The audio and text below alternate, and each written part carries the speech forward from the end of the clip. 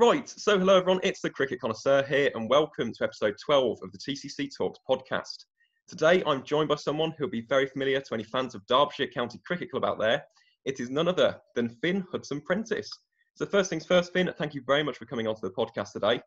How's your day been so far, mate? yeah, it's actually been a been a different day for me this morning. Woke up very early and uh, took myself for a bike ride, trying to get uh, blow a few cobwebs out and get used to maybe getting into a routine again. So, yeah, early wake up. So it's uh, been a long day considering it's only eleven o'clock. yeah, flipping heck. Fair play though, getting the grind, getting the fitness back. But um, yeah, to kickstart this podcast, we always start with right at the beginning the origin story. What was your first memory of cricket, either watching or playing the game? Um, my first memory from watching was the 2005 Ashes. I think that's quite a common answer, but that was definitely my first memories of watching um, on TV. I remember watching Sussex down at Hove in live games in sort of 2004, 2005, 2006. Um, but don't really like that was the series that that 2005 Ashes series was the one that I really remember. Um, I was sort of nine, ten years old um, at that stage. So yeah, that was definitely the series that stood out for me. Yeah, and for many other England fans, what a yeah. series that was. Um, yeah, similar age to me actually. I was, was I? I think I was eight when I first watched my England series. 2009 Ashes, Monty and Jimmy doing the Great Escape in Cardiff. But yeah. um, yeah, you mentioned obviously that was a fun, fantastic series, some massive names in that series as well. Who were your real cricketing inspirations back then? Who did you look up to? Uh, obviously, being an all-rounder, it was Andrew Flintoff. Um, Dad always used to say to me when I was younger, he was like, "You need to bat and bowl.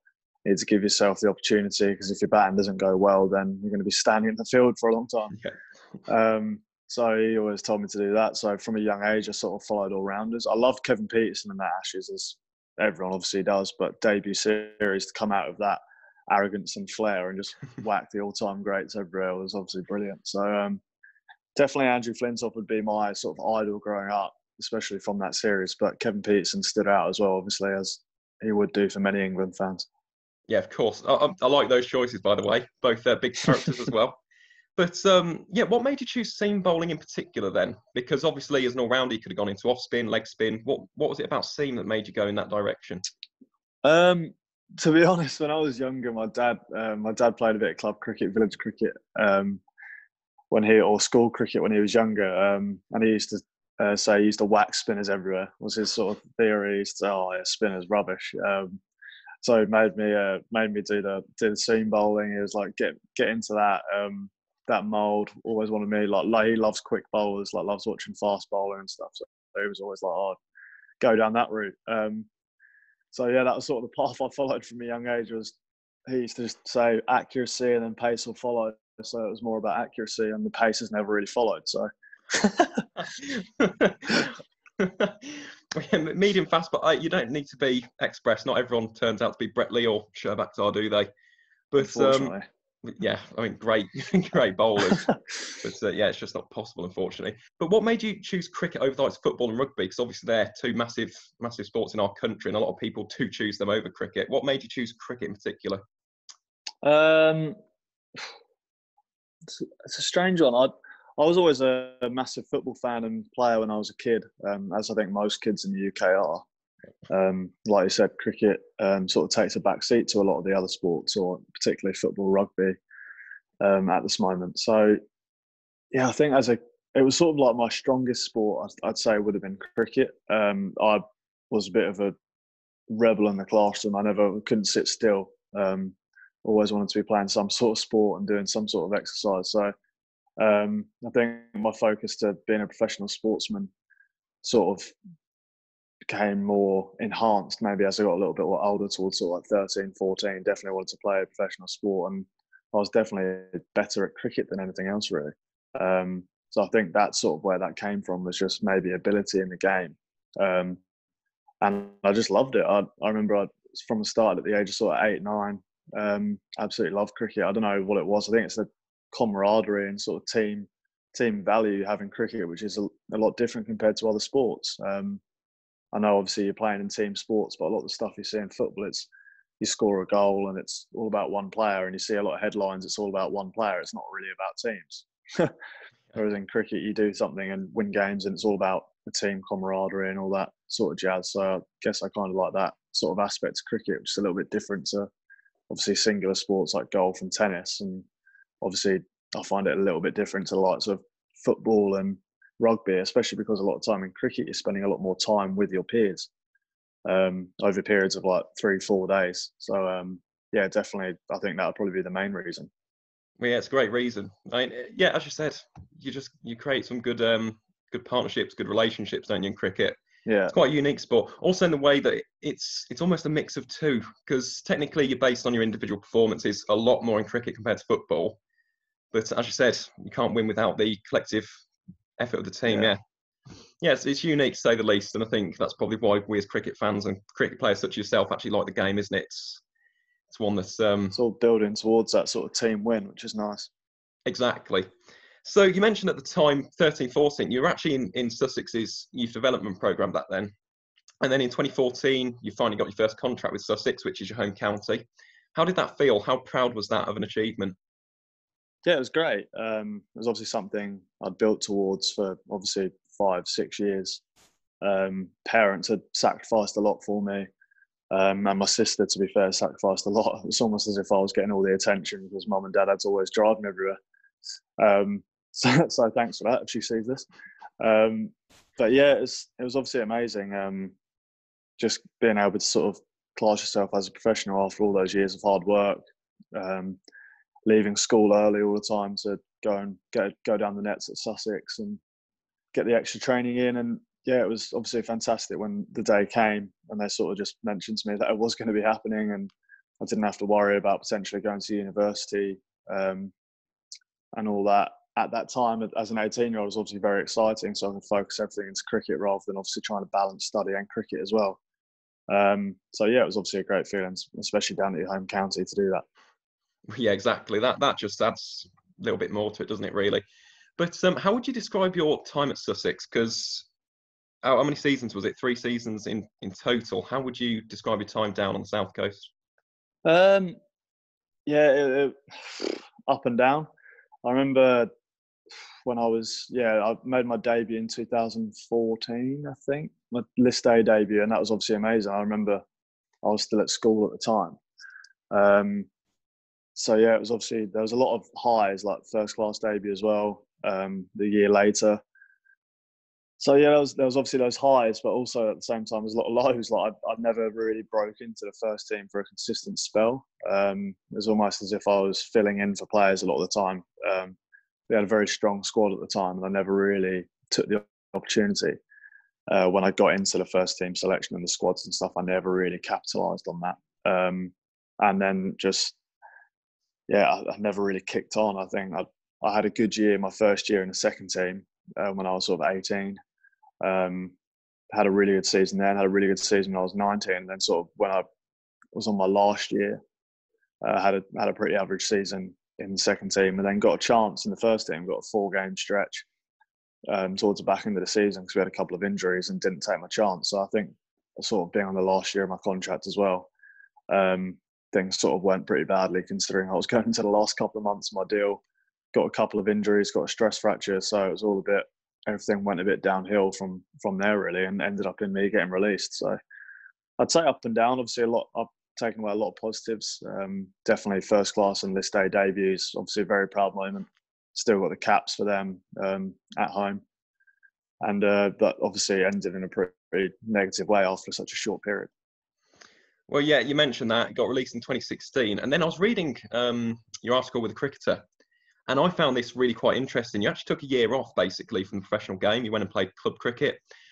How did you overcome the disappointment of being released by Sussex, and how did you find the the inner resolve to kind of come back from that?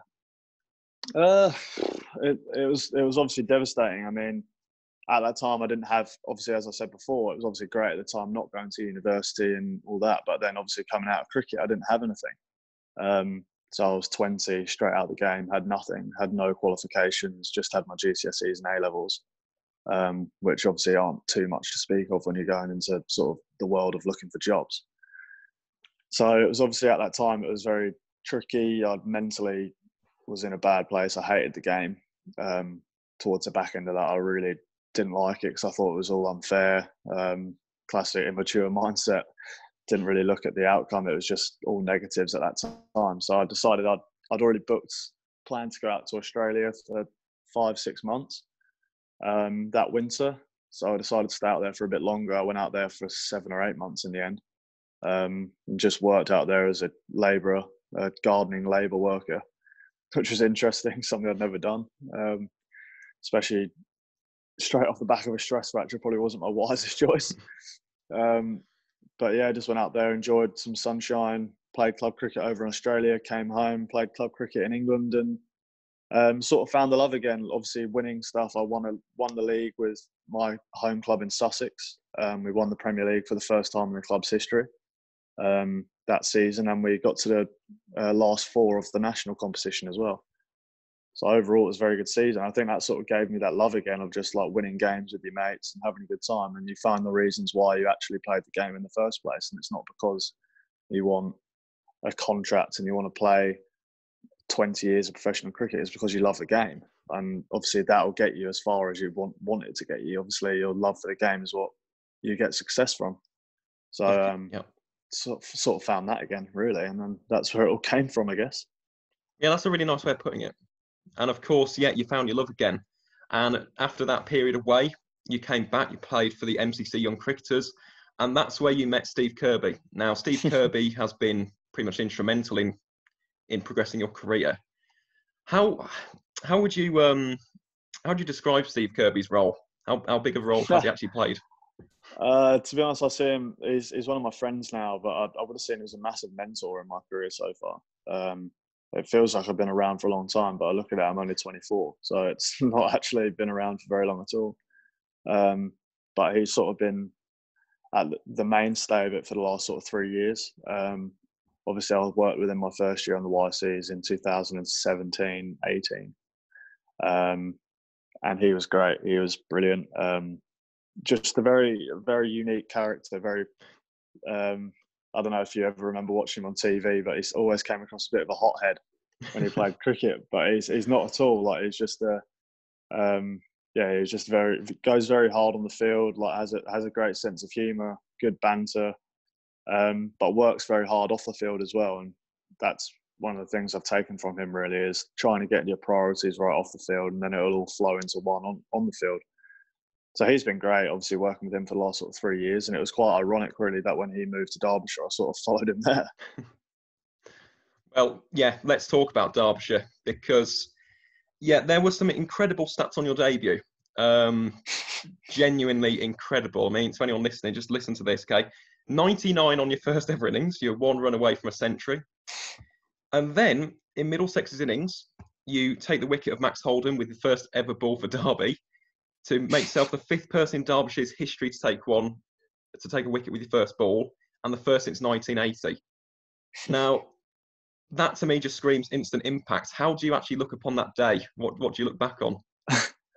Uh, I look back on the fact that I got 99 and can't believe why I didn't just try and get a single instead of trying to hit a boundary and top edging one.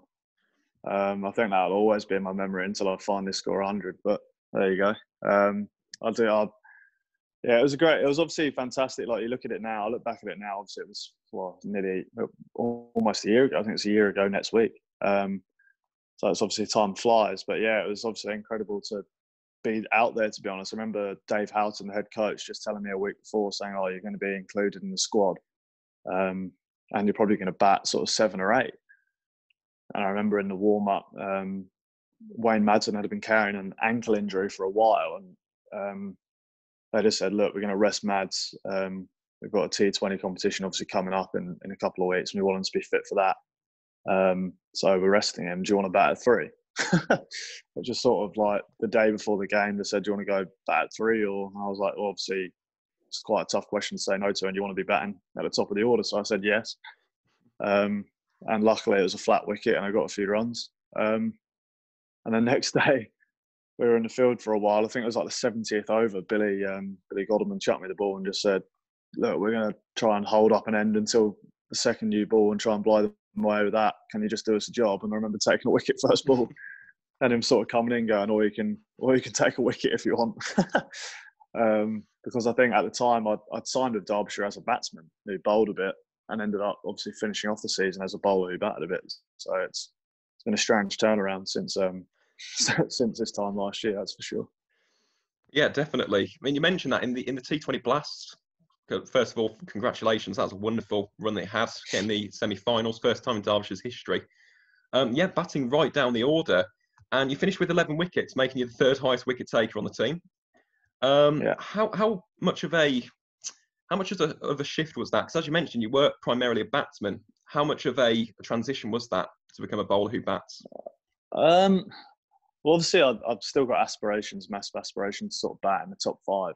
Um, that was the aim to try and break into that this season. But obviously, whatever's happened has happened. Um, but um, yeah, it's it's strange because I've always bat my bowling, but I've never really thought of it as being anything special. I've always enjoyed my batting more in a sense. Um, but I think working obviously with Steve Kirby as a bowler, he's helped my bowling come on leaps and bounds over the last sort of year and a half, two years, from a point of where I was just a fifth choice bowler, sixth choice bowler to now bowling. I opened the bowling in a few first class games last season, um, and bowling first change primarily. So yeah, it was obviously an interesting switch, um, but it's one of those things. I, I, I bat myself with my cricketing ability. I'm quite an aggressive.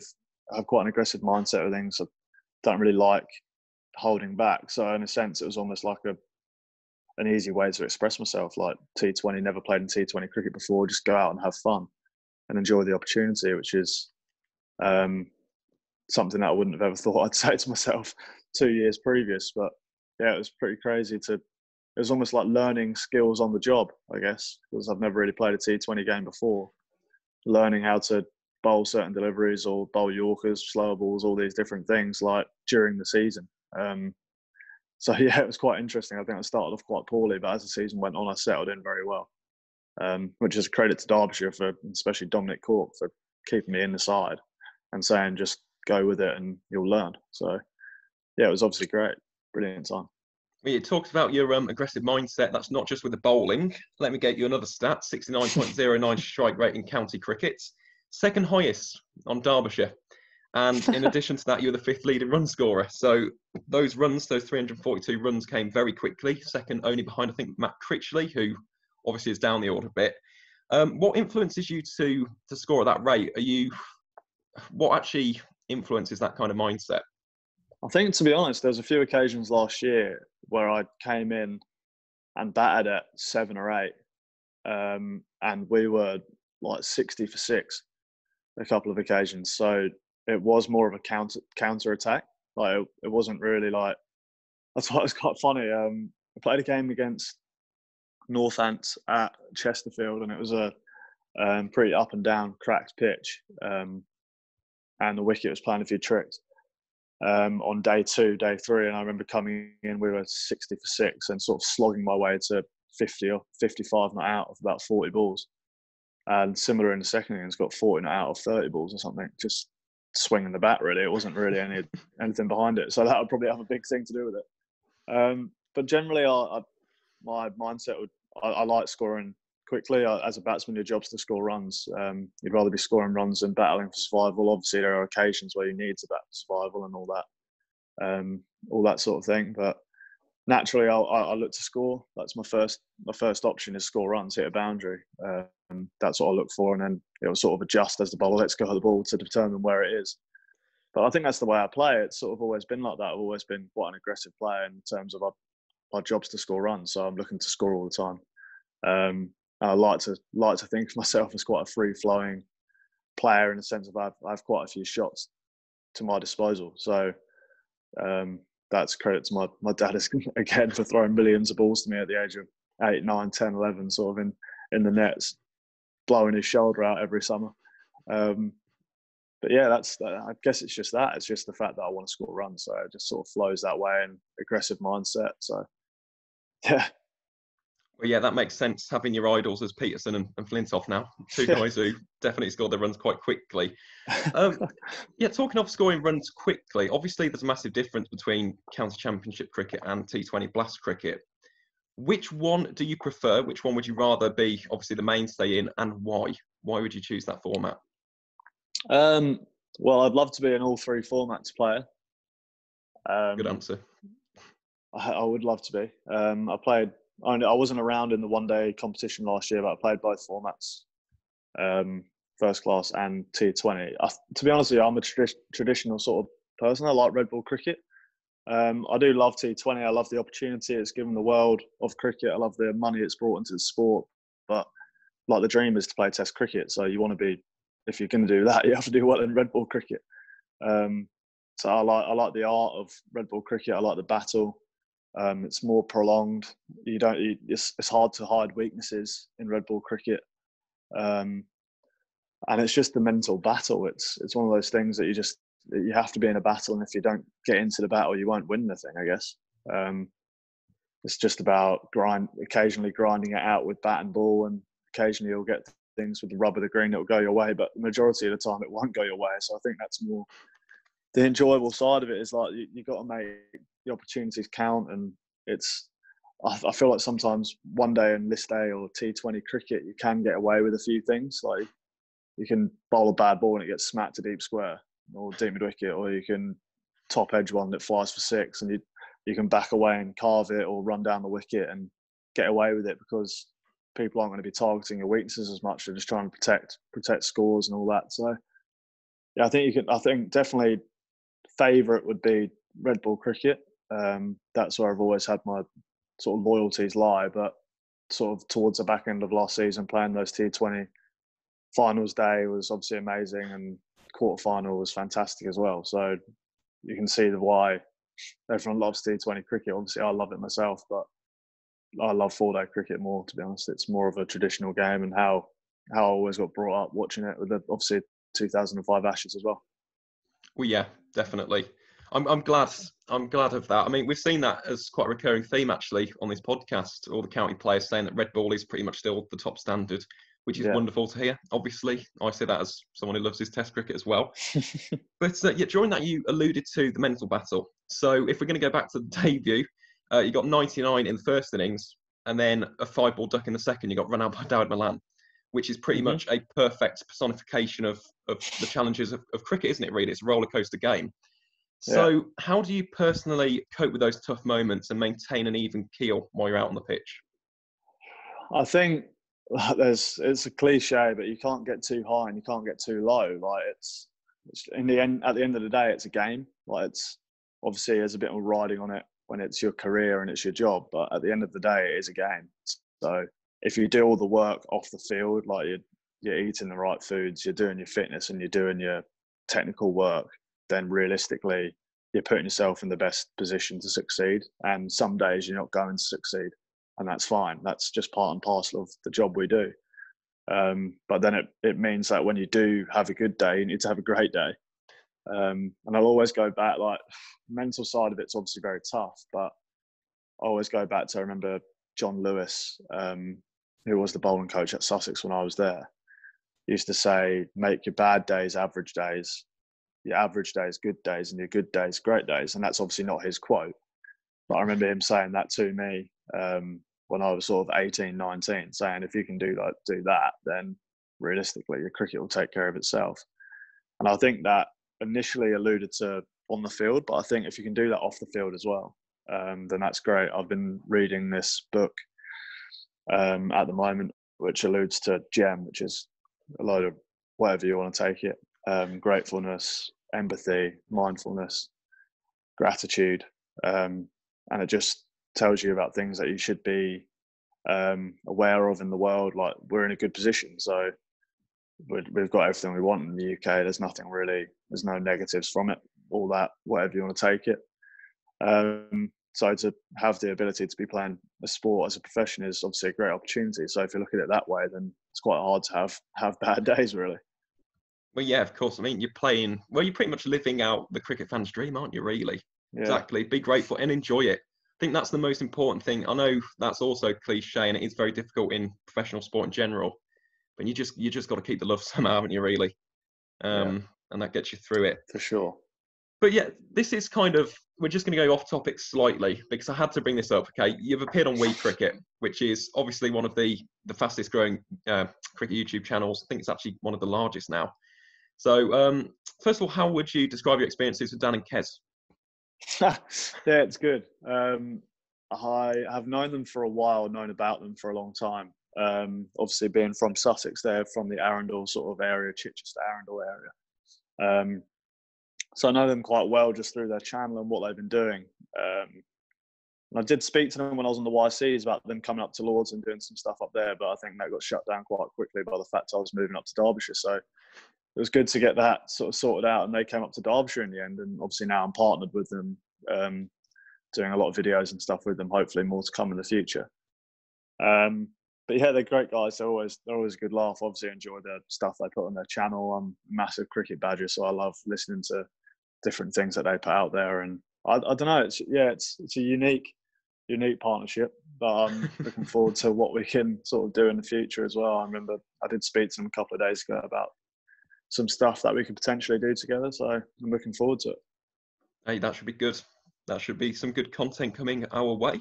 But uh, yeah, talking of we cricket, there's also you've got now cricket districts who have now kind of taken cricket culture to the next level. Obviously, podcasts such as this one. What do you think of this new age of um, cricket fan media? What do you make yes. of it? Yeah, I, I, I think it's great. Um, been making a concerted effort sort of recently to try and push profiling and all that sort of stuff because I'm interested in the same things. So um, it is it's obviously fantastic. We didn't have that two or three years ago. We didn't have the sort of social media output that sort of other sports did. So it's great to see that there's pages coming about now and different people obviously getting involved and pushing the sport because obviously the more presence you have in social media, the more popular it will become, especially with how the world's going at the moment. Um, so yeah, it's obviously fantastic to see these channels growing, and obviously it's massive thing now overseas as well. In India, they've got a lot of channels over there and stuff, and obviously now these channels are getting traction overseas, um, which is fantastic because it now promotes the English game as well, which obviously is good for us. So, um, yeah, I, have got nothing nothing bad to say about it really. I think it's a really good way of sort of pushing forward the game that we obviously love. Yeah, exactly. And there's nothing wrong with talking about cricket. I mean, I think we all love to do it. Um, yeah, it's a great avenue in order to do it. But yeah, just that was just a bit of a, a bit of a bit of a left field one. But uh, we'll get back on track now with uh, this next question. So obviously, only 24 now. You're in your first, well, this would have been your second year at Derbyshire. What would you like to achieve in the remainder of your career? What's your your real goal? Yeah, um, obviously the goal is to play Test cricket. The end goal um, to play international cricket. There's obviously a lot of goals that precede that. Um, I think the main one for me personally would be to get Derbyshire into Division One, um, county championship. Um, I think that's a club goal as well um, over the next sort of two years, hopefully obviously this season's a bit of a bit of a nightmare, but still got a bit of time. So hopefully pushing the club forward. Um, yeah, yeah, I mean, everyone wants to play international cricket, but sometimes it doesn't happen. I'd love to play in Big Bash. Um, that's sort of that's my other sort of goal would be to play in that competition. I love Australia as a country, so to play that competition would probably be my main goal in terms of a franchise league. But um, yeah, there's obviously loads of things like trying to get called up to the England Lions, getting Derbyshire Division One. Um, obviously, goal setting with runs and wickets, whatever, like season tallies, um, will get you there. So I guess um, it's, it's more about winning games for Derbyshire at the moment and getting us to Division One. I think that's the main aim. Hopefully, we'll get a crack at that towards the end of the season, or maybe even next year. Um, but yeah, that is that's that's that's the start goal, and then the end goal would be obviously playing international cricket. Hopefully, in the next sort of four or five years. Well, yeah, of course. I wish you the best of luck with that, definitely. And first thing for that is obviously the Lions, isn't it, really? So yeah. never know. Keep on getting runs at 69.09. we can see the Lions soon. But um, yeah, you alluded there to the Big Bash. So I'm guessing that's your preferred one. Would that be above the IPL, CPL, all of the other leagues? Uh, yeah, it would be for me um, personally. Yeah, obviously I, I don't know anything about the standard of the leagues. Obviously, you see it on the TV and you see the players. Um, I'm more alluding to just the country. Obviously, I think the standard of the Big Bash is obviously very high, and the wickets are lovely. So probably going over there and playing the Big Bash is obviously the dream. Yeah. And who would you play for? What would be your ideal franchise? Well, I've spent most of my time over there in uh, in Adelaide, so it'd be the Strikers for me. Yeah. Especially uh, one of my close mates, Phil Salt, went over there and played for the Strikers last season as well, um, which I was very jealous of. So um, I think it would definitely have to be the Strikers. good choice. Not one that um, many people say. They usually say the Melbourne Stars or the Brisbane Heat because they want to play De Villiers. But um, yeah, yeah, strikers, true. good choice. Alex Carey as well, Rashid Khan. We're, we're forgetting the big names in there. Yeah. Travis Head, John Wells. Played, yeah. played club cricket with Alex Carey. Um, he played my club team a few years ago. He was a great guy. Back in yeah. 2015, maybe. And he was our overseas player, and he didn't. He wasn't a professional player back then. He was just. He was in between changing back from. He played AFL, and he changed back from playing AFL to professional cricket, and we were sort of a stepping stone in the middle of that, which is quite quite random. Yeah, uh, good good trivia for a Alex Carey quiz. but um, yeah, I mean, yeah, he's had a stratospheric rise, hasn't he? Really, and also just to also mention about county cricket, this was something I saw in the news the other day with regard to Michael Vaughan, and he said the county pitches, in his words, are appalling. Um, what do you make of that comment? What do you think of the the quality of, of county wickets? Well, I know no different. I've never played international cricket, so I can, I can, agree or disagree with them. I think the county wickets are great. I think it offers up a test between bat and ball. I think certain grounds obviously are different to others. I think Derbyshire is great because you get all aspects. Like day one, it seems around. Day two and three, it's flat, and day four, it starts to spin. So I don't think there's anything wrong with that as a ground. Um, I know sometimes it might be a bit soft because the weather up up this way isn't too good um, compared to when I was down in Brighton. Yeah. But, um, but no, I, I don't know. I, I've got no no real opinion on it to be honest. I think that the wickets obviously are good enough if you can get like people averaging 50 with a bat and 20 with a ball in the same division. So I don't I don't see the issue with it. Mm, fair enough. So valid opinions have uh, might be a bit different in Division One though. I think Division yeah. One's averages were a lot. lower. I think in Division Two you had three people scoring over a thousand. Um, Division One we had one, and that was Dom Sibley for my team, Warwickshire. But um, yeah, fair comment. I mean, as you, will see that anyway. If Derbyshire get promoted, I suppose that's when you can make a, a better comment yeah. on that, isn't it? Really, you haven't really played at all, all seven, well, all eighteen, I suppose. But yeah. Uh, yeah, just to wrap up this podcast, Fynn, I've really enjoyed this. It's been a great podcast. What advice have you got for any young cricketers out there who may be just starting their journey? What would you what would you give them? Um, well, from obviously going back to what I said previously, I reckon you just have to enjoy it. Um, you'll push yourself as far as you want to go if you're enjoying the game. I think the issue lies when people start to lose that love and passion for it. So don't put yourself under too much pressure. Enjoy it. Think about the reasons why you're playing the game, and then be grateful for what you have. So I'd say just make sure you're enjoying it. And yeah, that's probably the main thing I'd take away from that. Yeah, that's a really nice piece of advice. But uh, yeah, that pretty much wraps up episode 12 of the TCC Talks podcast. Fynn, have you got anything final to say? Do you have any social media to plug, for example? Uh, I do. It's up to up to up to the people they want to follow it. It's not very interesting, but my usernames are just Fynn Hudson thirty three on Twitter and Instagram. So they're the two ones I use. Well, I'll leave them down in the in the description to the YouTube video on this. I, I recommend that you go and follow him. He's a lovely guy, and uh, obviously you're going to be seeing a lot more of him on uh, Week Cricket with Dan and Kez. But uh, yeah, that that pretty much wraps it up from us too. To all of those who have listened, thank you very much for tuning in. As always, it's massively appreciated. And yeah, as always, guys, enjoy the rest of your day.